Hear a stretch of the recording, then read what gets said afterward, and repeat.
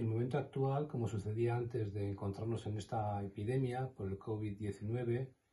la atención de las mujeres con esclerosis múltiple debe ser exactamente igual a la atención de cualquier otra mujer. El tener esclerosis múltiple no debe de modificar ni la atención al embarazo ni la atención al parto y los riesgos tanto para la mujer como para el niño son los mismos que los de las mujeres que no padecen esta enfermedad. En el momento actual, las precauciones que se deben de tomar con las mujeres embarazadas y que deciden los ginecólogos son en las pacientes con esclerosis múltiple exactamente las mismas que en las mujeres de la población general.